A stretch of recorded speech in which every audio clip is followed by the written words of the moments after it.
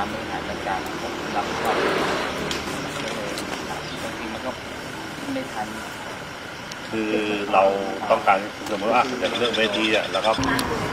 คือเขาผมเข้าใจทั้งทั้งทางโน้นทั้งทางนี้แหละแต่ทีนี้คือถ้าทางนี้พูดปุ๊บอ่ามันแล้วก็มายันมันไม่ได้มีแค่หนึ่งสองมมันมีสามสี่ซึ่งไม่เกี่ยวเข้ามาอยู่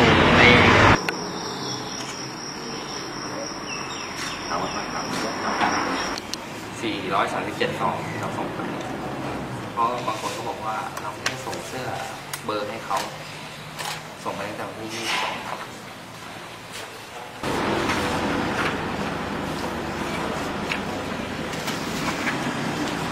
อันนี้คือบัญรพี่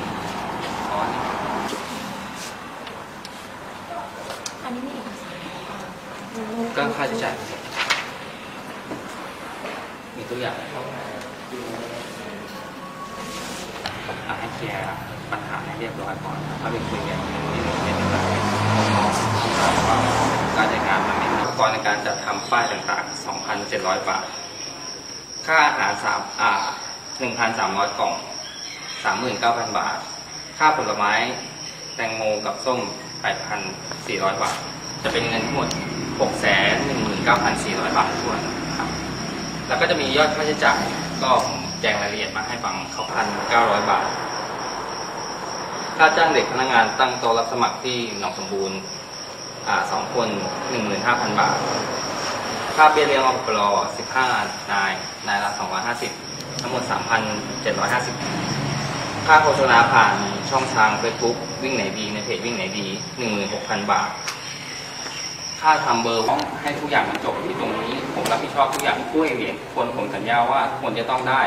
ไม่มีใครไม่ได้เหรียญไม่ได้ถ้วยแน่นอน เงื่อนไขเป็นไปตามเดิมทุกอย่างไม่มีอะไรเปลี่ยนแปลง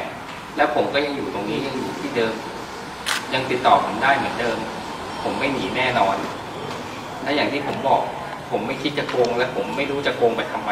กับเงินแค่ไม่กี่บาท ถ้าผมจะโกงผมโกงเงินเยอะกว่านี้หกแสนกว่าทำไมผมไม่โกง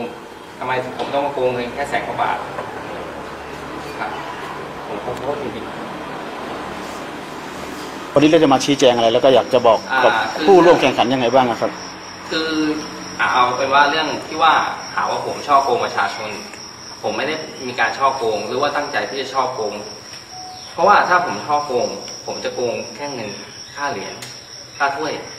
แสนกว่าบาทเพื่ออะไร ถ้าผมคิดจะโกง ผมเจตนาที่จะโกง ผมทำไมไม่โกงตั้งแต่เงินที่หกแสนกว่าบาทผมไม่ต้องจัดงาน ไม่ต้องสั่งซื้อเสื้อ ไม่ต้องสั่งทำไวนิลป้ายต่างๆ ผมเอาเงินหกแสนกว่าบาทหนีไปเลยได้ไหมผมก็ทำได้ ถ้าผมจะโกงถูกต้องไหมครับ แต่ผมไม่ได้คิดที่จะโกง แต่เรื่องถ้วยเรื่องเหรียญที่มันล่าช้าก็เกิดจากการประสาน การติดต่อสื่อสารที่ผิดพลาดเข้าใจว่าผมก็เข้าใจว่าจ่ายเงินที่หลังพอได้ของมาแล้วผมจะจ่ายเงินทั้งหมดให้ ทางร้านก็เข้าใจว่าต้องจ่ายเงินก่อนถึงจะส่งของมาให้ เพราะของก็จำนวนเยอะ ส่วนในตัวส่วนตัวผม ผมก็ว่าเงินมันก็จำนวนมากให้ผมโอนไปทั้งหมด มันก็ไม่ใช่ผมก็กลัวและส่วน เรื่องเงินรางวัลบางคนบอกอะไม่ใช่เรื่องเสื้อบางคนบอกว่าสั่งเสื้อไปไม่ได้ไม่ได้ส่ง ผมมีหลักฐานการส่งครับ ผมส่งทั้งหมดที่เขาจัดให้จัดส่งทั้งหมด 437ซอง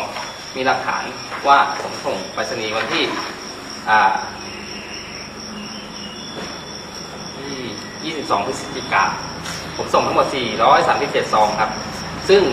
าบางคนบางท่านที่ไม่ได้ามาาส่งข้อความมาในเพจผม ผมก็ไปตามเรื่องให้ อย่างบางคนท่าตะโกอยู่ที่ท่าตะโกผมก็เอ๊ะทำไมไม่ได้ ผมไปตามที่ไปรษณีย์ที่นครสวรรค์ เอาเอกสารให้เขาดู แล้วผมก็โทร